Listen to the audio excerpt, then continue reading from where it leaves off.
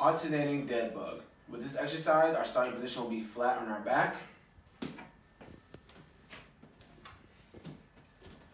Arms and legs will be up. Legs and hips are in a 90 degree angle. I'm going to start with my right arm first. So what we'll do is bring our right arm slightly behind our head.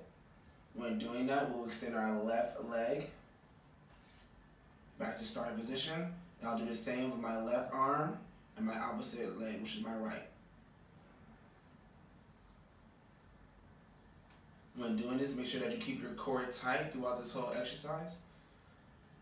And make sure to extend your full body.